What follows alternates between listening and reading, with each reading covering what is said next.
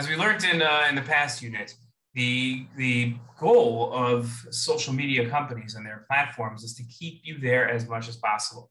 One of the ways of doing that is by manipulating your emotions.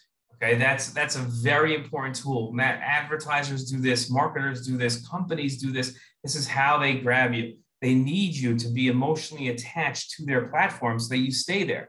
Whether that means that they keep you happy there or they keep you insecure there, so you need to be there. They've got to figure out a way to manipulate your emotions that you want to stay on their platform as much as possible.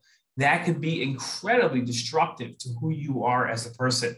It could really change you, and social media has that has that ability to change who you are um, by by manipulating your emotions. So we've got to figure out some techniques to be able to manage our emotions. We also don't want to be the person who's trying to manipulate other people's emotions.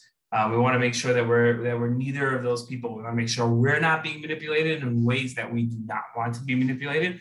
We want to make sure that we're not trying to attract people by manipulating them through through nefarious uh, techniques. So I look forward to, to studying this unit with you, and I look forward to hearing your questions about it uh, because uh, that's really what's important is to see how I can help you understand these and how we can learn about it together. Okay, I look forward to hearing your questions. Shalom.